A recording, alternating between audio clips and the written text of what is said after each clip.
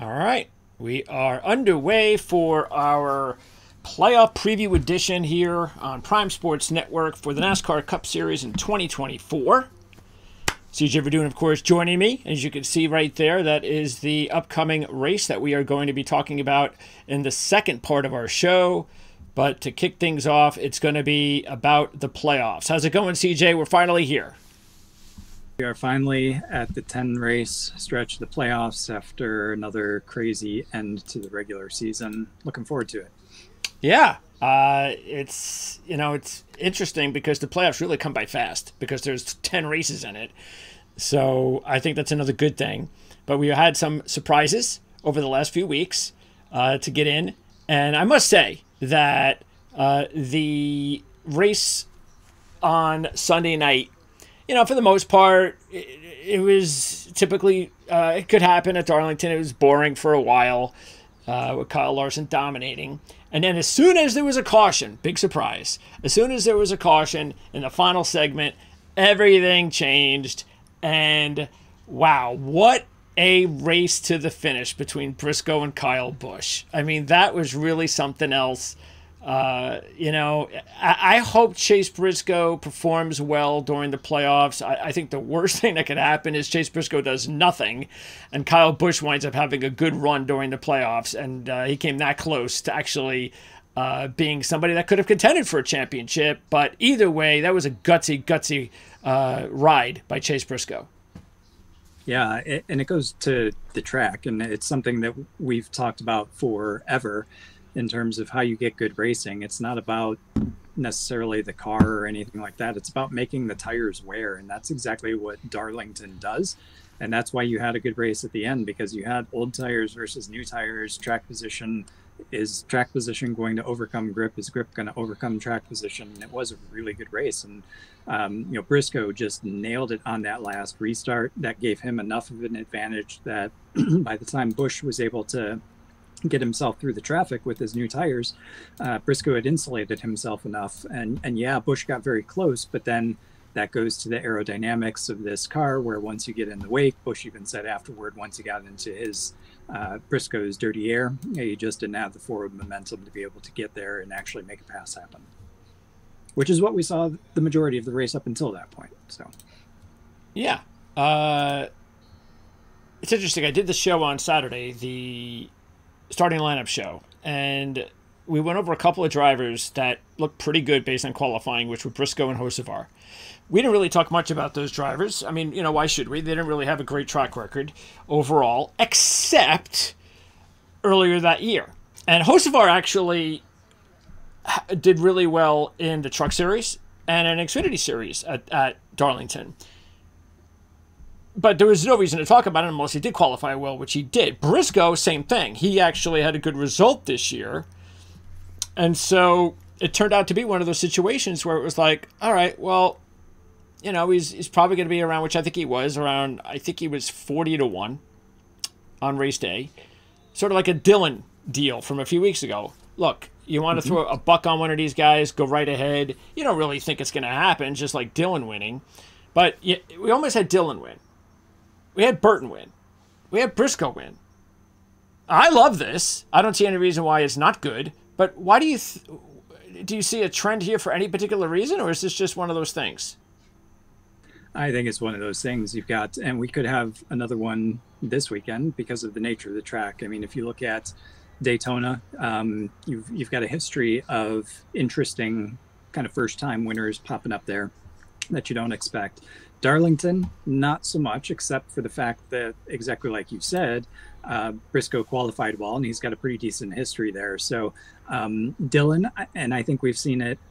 Dillon, I would put in a different category um, because I think we've seen it with Kyle Busch as well. Uh, Richard Childress Racing, I, I, think at the beginning of the year, I had probably both of them in my top 16 and making the playoffs because it's inevitable that Dillon wins a race. It's inevitable that Busch wins a race, but they've had so many problems this year that other people have stepped up and other teams have stepped up and been able to take that mantle away from them, and they've not gotten uh, over their problems until just recently. So uh, I put them in a little bit different category. Uh, I come into Atlanta you know, it's not Talladega or Daytona, but it's still super speedway draft style racing. You get those big crashes where you get uh, a lot of carnage, and if you're able to survive those, it takes a healthy dose of luck. Uh, you might have somebody pop out um, that was completely unexpected as well. Chase Briscoe, you got to go back to New Hampshire in June, end of June, for his last top 10 finish, and it was actually runner up at New Hampshire. And then prior to that, um, it was Darlington. Uh, so he only had one other top 10 finish prior to winning, and that was at New Hampshire, splitting the two Darlington races. So, yeah, somewhat you can put him in that category of unexpected. Um, I would argue Carson, Carson Hocevar shouldn't be in there because I put him in my fantasy lineup for Darlington every single time, uh, just about. Uh, I considered Briscoe, but I, I put that out before qualifying happened, and then when I saw the qualifying, you know, you know the battle that he had in Xfinity with Kyle Busch years before just shows he's one of those guys that gets this track. Uh, so I think it's just one of those things. Um, we could see another one this weekend with Atlanta, so don't be surprised. Um, but it, I, I, don't know that there is anything unique or different about what has been going on to produce the unexpected winners more recently. Okay, it's time to talk about the playoffs and let us move over to the futures so we can uh, and, and i haven't looked at we haven't really talked about these futures for a few weeks so uh, we'll, we'll try to make some predictions here. But uh, as well as of course what we're going to do is we're going to give you our final four picks for phoenix our champion of course and we'll take a look at maybe a couple of sleepers to keep an eye on. Not necessarily to win the championship but you know maybe you get to the final four or maybe you do something you know like you know hey, I, am going to pick Briscoe to get to the final eight, something like that. Um, but just a couple of sleepers maybe to keep an eye on. And by the way, uh, just referencing uh, what we uh, went with to start the season uh, was. Do you remember your predictions? Uh, probably Hamlin Larson. Probably yes. Lane. No. No. Um, did I put Logano? You're forgetting your champion. Bell? No, that was me. uh, no, I don't know then. I forgot. William Byron. oh, Byron, yes. Okay. And well, and the I, last I, one that looked good early. Not so much now. well, that's true. That seems to be William Byron. Uh, yeah. But the other four, the other was Joey Logano. So you had yeah. Byron, Hamlin, Larson, Logano. I knew I had a Penske guy in there. Just couldn't remember which one. Byron was your champ, and do you remember what your sleeper was? Um.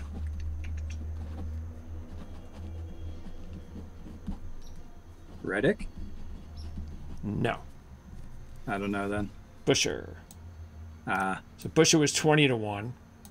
Uh, uh, what was Reddick? Reddick was 16 to 1 when the season started. So my four, I also had Byron just like you.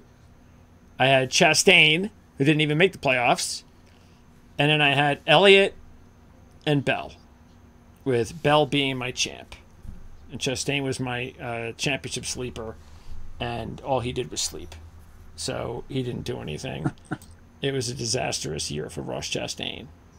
So there you go. That's what we talked about. Those were our predictions before the season began.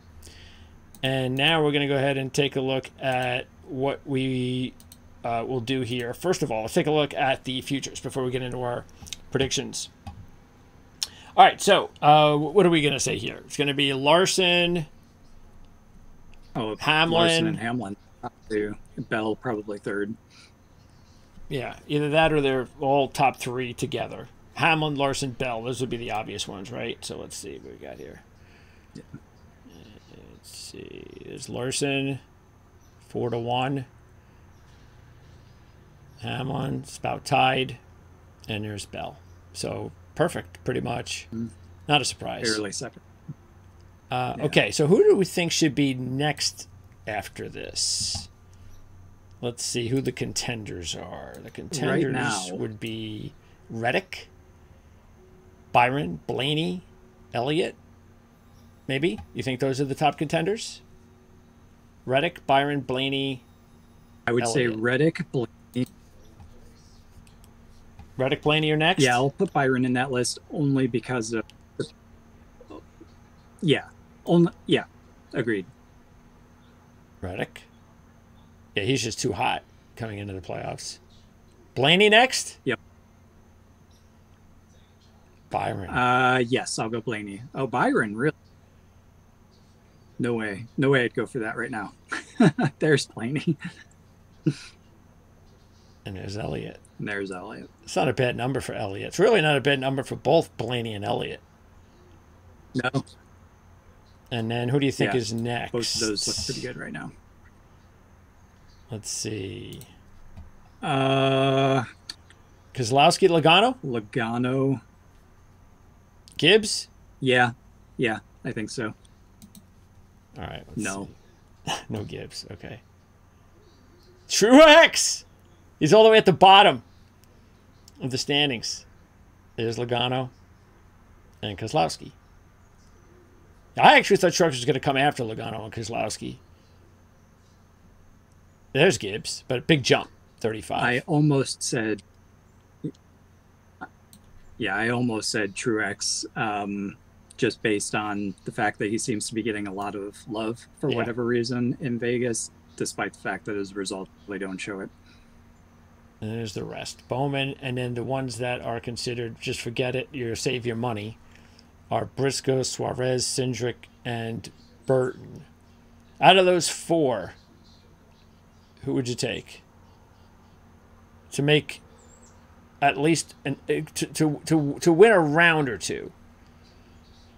In other words, you know, be there for the next round or two. I'd say Briscoe. Okay. Briscoe. Briscoe or Suarez, certainly, but Briscoe for me. All right. And then how about between Gibbs and Bowman? Who do you trust more?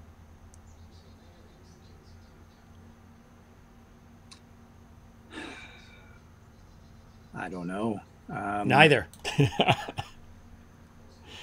I I mean Bowman for me because Yeah, you know tough. he's, he's he's a Um, veteran and he's actually had a pretty decent season even though he's kind of cooled off a little bit. But I mean Gibbs hasn't won a race yet. He's gotten better recently. Yeah. Yeah, that's that's disappointing. I yeah, probably Bowman just because Gibbs has, hasn't won a race, but Gibbs gets top tens consistently, uh, whereas Bowman's kind of more up and down. Okay. So let's go ahead and talk about the races and whether or not you believe they're going to be a factor in any of these rounds. And if so, which ones? Because first of all, we're going to be dealing with Atlanta, which is like Daytona and and um, uh, Talladega, and then of course we've got short track at Watkins Glen, and then uh, I mean road course, and then short track with Bristol.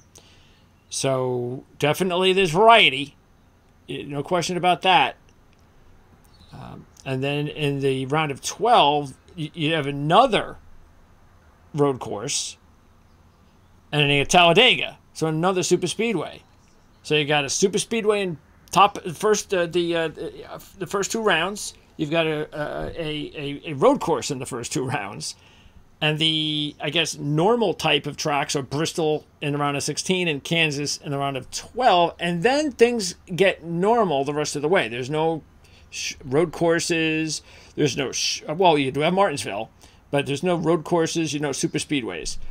Are you okay with this setup?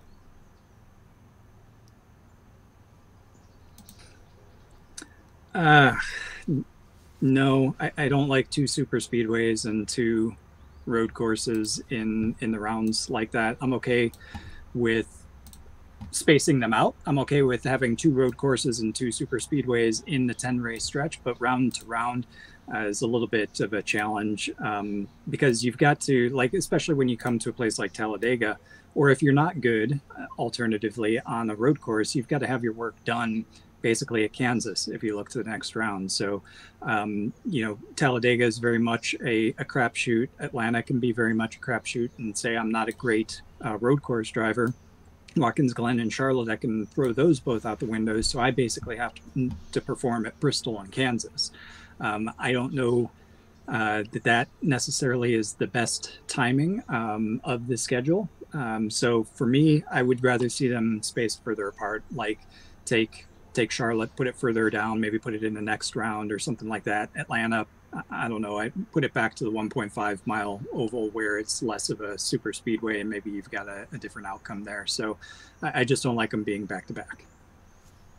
Yeah, I don't. I don't like the fact that there are two road courses in the playoffs. I think one's enough, but you know, and maybe even having one each of of the super speedways and the road courses. Yeah, that that I think makes more sense. But anyway, you said the schedule came out for next year. Is, is anything changed dramatically?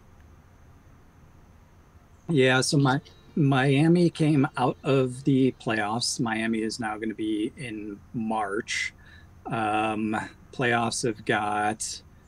Let's see, Phoenix again is going to be the ender. Oh, uh, we all love that. Phoenix. We all love Phoenix um, being the championship race. It's such an awesome race at Phoenix. Yes, yes, no, no, no. yeah, that's about it. And then a stop in the middle of the year at Mexico City. So uh, nothing really dramatic with the schedule. Probably the biggest news is that they're going to Mexico City for another road course. Okay, great. And they're not taking any road courses out? Now we've got uh, Charlotte Roval October 5th. We've got Watkins Glen um, is actually out of the playoffs. That's August 10th. So, uh, based on the Olympics not happening, we can kind of go back to the normal schedule. Um, uh. But yeah, uh, the addition the addition of Mexico City. Uh, that's that's about it. Okay. Um, yeah, Circuit of America is still there as well. So basically, the extra week they're bringing back, that's going to be the Mexico City road course. Okay. All right. Okay, so uh, we have by the way, uh, shout out to one of our young viewers, Marcus Villarreal. Is that how you pronounce your name, Marcus? Villarreal? Villarreal? Villarreal probably sounds better. He's 19 today. CJ, happy birthday to Marcus. Congrat- Congratulations. Excellent. and he, he wants to know who we're going to pick, so we're going to get to that. And he predicts Christopher Bell will win. So, well, Marcus, I hope you were listening earlier in the year when mm-hmm. Bell. Let's see what Bell was when the season began. Let's see, I forget what I got him at. Uh, he was eight to one. So it's almost been cut in half. So hopefully you got him uh, at the number I did, but he still has to win it. Okay. Now, let's go with our yep. picks. So we don't need to go round by round. Let's just go ahead and uh, get your uh, final four. So, do you have any major surprises as far as your final four? You going chalk? No. no, no, I don't. Um, it's going to be the same two i same three actually that we've been talking about pretty much every single week. I expect them to get there. Really? Uh, the the fourth one is kind of more yeah the fourth one's more of a flip of the coin but uh, so larson hamlin i think bell gets there. And then for my fourth driver you know he's so hot right now. I, am debating between him and blaney um, reddick or blaney as my fourth. And i think i go with uh, Reddick as the fourth. Wow. So you, you actually did go chalk. If it wasn't for Hamlin, his, his points taken away. You'd be going with one, two, three, and four. So, is that what that is true? Yeah. So, all right. Well, we'll get you sleeper though. that is. I forgot about. Yeah. Okay. So yeah, I know. I, I get the whole deal with Larson, but here's the thing too. And, and look, he, he has because of the fact that he has that lead. That's the important thing because even though I mean, we've said this before. It is 21, 34, 39, 34, 34, 21, 21. Uh, and, and a few of these other drivers are the same way. Don't get me wrong. I mean, Bell's got a bunch of 30s. So that's the reason why anything can happen when you're just dealing with three races per round. If one of these 30s occur, and it can to any of these drivers. It does not have to be Atlanta. So let's just say it does happen in Atlanta, and that's just that's pot luck. Now what happens if it happen, really happens in one of the other two races? Well, you, if you're Kyle Larson or one of these top drivers, you might be done. That might be it. So anything is possible, and that's what makes it that much more difficult.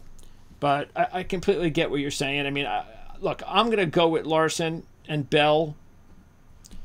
Uh, so, and and and look, I, I agree with you the way that Reddick is going.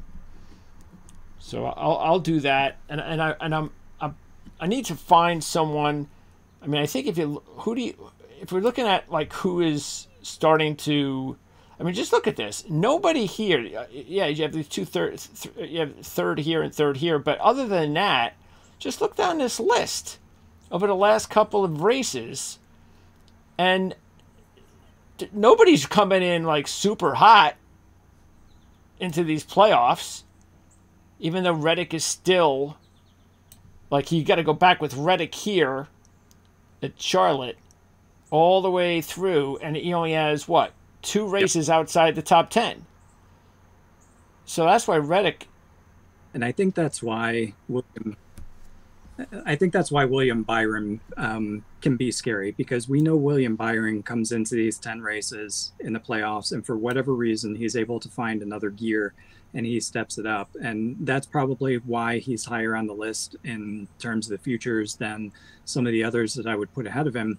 We know William Byron steps up in the playoffs. Um, so he's probably one of those ones that has terrible results heading into these 10 races but that's why i think this format's so difficult to predict especially when you've got a super speedway and a road course in each of the first two rounds just makes it impossible. And like you said impossible to predict. And like you said you have you basically get one mulligan race. Uh, if you're kyle larson that's not even a race. You can get one bad race but you've got to turn it on for the other two the way that this format works now.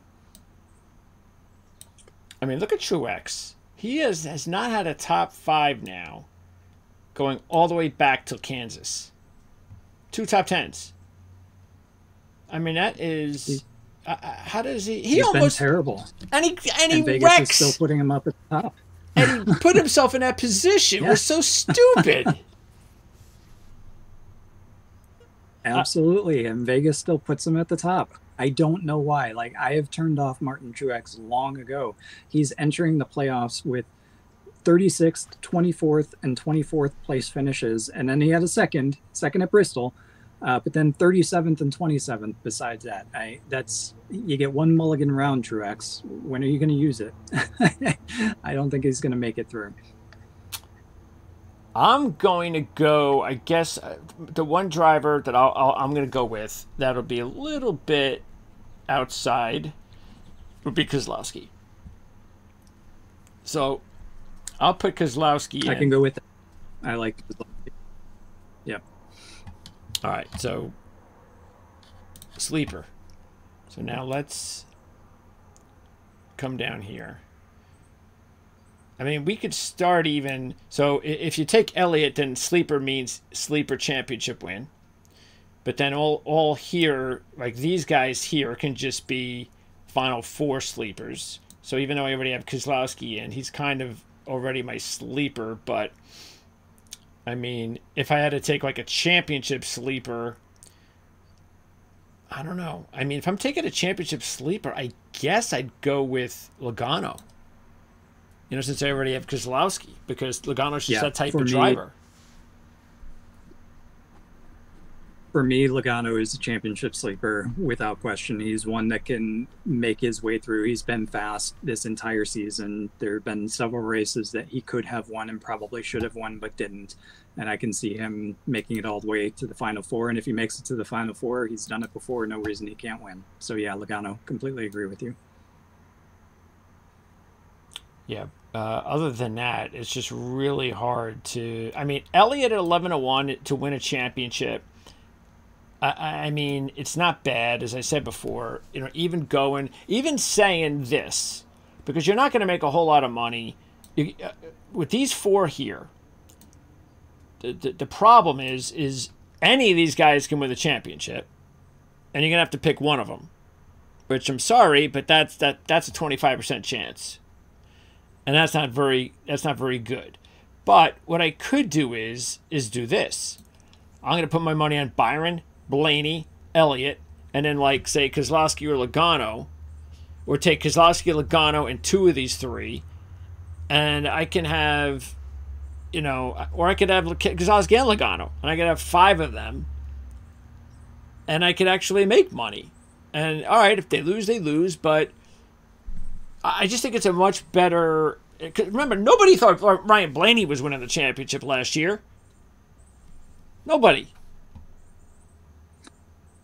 Yeah, I agree. And then if you want to talk about potential getting all the way to the top four, probably a sleeper there for me might be might be the Gibbs um, Gibbs boy, uh, just because he's picked up his pace, fifth, third, and ninth at Daytona, Michigan, Michigan, and Bristol before 20th at Darlington. So if he continues delivering those top fives, top tens, he could figure out a way to advance all the way through, despite being at the bottom of the seating right now.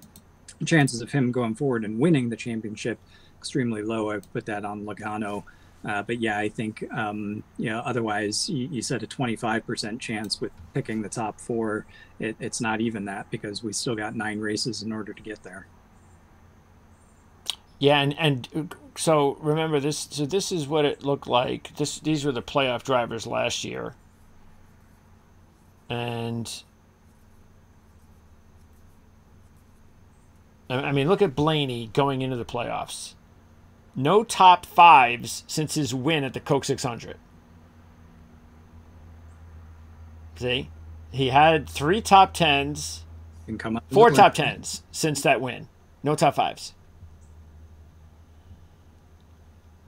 Yeah, and that's why I'm a, that's why I'm okay, I guess, a little bit more with the Byron uh, being sure. Byron odds being further up the the table because he is somebody that we've talked about many seasons. Um, he just steps up his game in those final 10. And yeah, his record coming into it certainly this year has cooled off from where he was at the beginning of the year. Yeah, because remember, I mean, look look at Byron. Now, Byron, see the difference from last year. See, see, this is interesting because you had Larson, Byron, and Bell, and and Larson was nowhere near as good going into the playoffs as he has this year. Okay, Byron though, I mean, uh, he he was you know look at that he had three wins going in over this stretch. He gets a win at Texas, and I'm pretty sure. I think Larson was the favorite because Larson picked it up with the two wins in the playoffs, and he also had a runner-up, a couple of top fives. Larson was the favorite, but a lot of people also were, picking Byron to win that championship last year in the race. And Blaney was the third choice. Yep. Even though Blaney had picked it up himself, like Larson, and won a couple of times in the in the playoffs. Christopher Bell was the long shot, and he was of yeah. it like that in, in, in, in Phoenix. Yeah, it's all about this format is all about peaking at the right time and it it helps to have the momentum going it into does. it but it it's really about building up that momentum through these so you get to phoenix and remember last year how about this last year check out these look at this at phoenix byron and this was the reason why a lot of people thought byron was going to win because he had won at phoenix earlier that year and he had byron and Blaney was 2nd at mm-hmm. Phoenix, and we know what happened with Blaney last. That's the thing with Blaney. If Blaney can get into, if he can get to the to Phoenix, he, he don't care if he's fourth going into Phoenix. If he can get into Phoenix, he's been the best driver at Phoenix the last couple of years, because he would have beaten Logano when Logano won the championship the year prior. He just let him win. And then he went ahead and, and, and again, he didn't win Phoenix, the race, but he did what he had to do. And he held off Larson and Byron and all the rest, uh, with Chastain winning. But still, uh, that's why Blaney's going to be in really good shape if he could just, know, it's not going to be easy. He's got to get to the Final Four. But if he can get there, uh, he's going to be in really good shape. So let's go back to this year. Yeah, and uh, don't look now, but Ty, Ty Gibbs was third at Phoenix earlier this season as well. So if he's able to make it to the Final Four, um, that could be a surprise potentially. Yeah, Bell was the winner. And then um, let's move this down. There's Gibbs on the bottom here, third. Keselowski was fourth. There's Blaney, another top five at mm-hmm. uh, Phoenix. And, you know, Logano, you know, no, honestly, Logano really, he, he just, this year has been pretty disappointing for Logano, but you just have to get hot at the right time. I mean, look at Truex. He gets off to such a good start this year. He probably should have won twice. And yes, is very lucky should to even be in the playoffs times, without a win. Yes. Yeah. So, okay. Yep. All right, so you're going to go Larson, Hamlin, Bell, Reddick. I'll go Larson, Bell, Reddick, Keselowski. Um, but again, the betting strategies, my betting strategy and advice is going to be that I would I would go in some form of Byron, Blaney, uh, probably even Keselowski and Logano, and uh, and then maybe even throw Elliott in there. That's that's the way I'm going to do it. I am not going to waste my money on any of these four because I don't have to. I've already got Bell. Now, if I if I was going to take a, a, a, chance on one of these four, um, and and this is what it's all come down to, because obviously I'm taking Bell. But if I if I just as a, as my, my own portfolio, I already got Bell. What would I do with the with these other three? Got Larson, Reddick. I should just say uh, Hamlin. I don't have in here. But let's just say you know Hamlin's. You know I, I got. Look, the only thing with Hamlin is, is that not that I don't think he could get there. Just, I just don't know. Hamlin is starting to. I'm starting to get those vibes that it's just not meant to be for Denny Hamlin to win a championship. I, I hope that's not the case. I think I think Denny Hamlin's good for the sport. I think he's got a good show. I think he'll have a good career after an NASCAR. But you know, um, I don't know. I'm just not getting a good feel for Denny. Um, hope I'm wrong. I'd like to see him win, but um, I don't know. Maybe Reddick. Maybe Reddick would be the way that I would go. Maybe that. Maybe that's what I would do if I wasn't taking Bell. What about you? Who, who who's going to be your pick? Uh, my pick is going to be um, Reddick, actually, oh. because he's building up the momentum as these playoffs approach. Um, he's in a car that can do extremely well at Phoenix. We've talked all season, all season about a, a driver, any driver, winning both races at the same track in a year, uh, this year in particular, and not a single time have we taken it. So that throws Bell out. uh, for you with Hamlin, I, I, agree. I think I think he chokes. Um, we'll see if he's able to overcome that. When he does, he will win his championship. I think he will win a championship at some point. Uh, but I think the last two years, maybe even longer than that, I've been putting him in there, and he's he's let me down each time. And then Kyle Larson just too inconsistent, too up and down. I think at some point it's going to bite him, and it may well come at Phoenix. And by the way, he hasn't been as good at Phoenix as uh, the uh, the Gibbs boys and the Toyotas. So therefore, I'm going to go with Tyler Reddick. You know, uh, I think uh, I think another driver that could make a run to the final four would be Bowman, because uh, you're looking at a long shot, and you're looking at someone that again, we talked about him having a really good year. Of course, he's cooled off a little bit. But he he still has the win. Uh, it's just that since he had this run here of a lot of top fives and top tens, he has the win, the third place. It just did not end well with those last five races. But still, I just think that overall, you're talking about a 40 to 1 shot that I think he could get into another groove again and find himself no wins, but find himself, you know, just hanging in there and hanging in there and hanging in there and getting into the playoffs as the number four guy. Not win a championship, but I just don't think he can win at Phoenix or come close to winning. Because again, you don't have to win at Phoenix; just finish maybe second or third. That would be a typical Alex Bowman way of doing it. yes, he would. always kind of um, pops his way out, you know, unexpected. So yeah, don't put that past Bowman. Okay, so there you go. Nothing earth shattering, but hopefully the advice we just gave you will help you uh, with your playoff predictions